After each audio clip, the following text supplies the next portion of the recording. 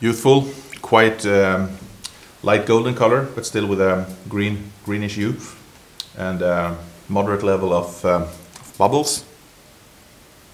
The nose is quite aromatic here, uh, intense with uh, quite tropical fruitiness. Uh, lots of stone fruit here, ripe yellow plum, a slight herbal and peppery spiciness.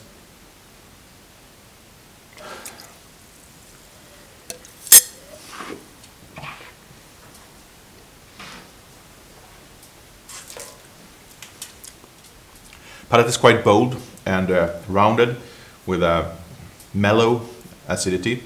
It offers a lot of roundness and, uh, and fruitiness uh, more than uh, crispiness. Uh, you feel there's a quite high ripeness of the, of the fruit here.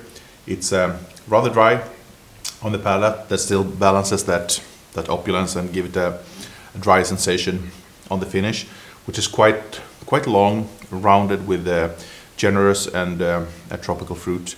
Uh, certainly, as sparkling wine, I think it, it drinks best uh, today in its fair youth, uh, as it's already very developed and generous in terms of fruitiness.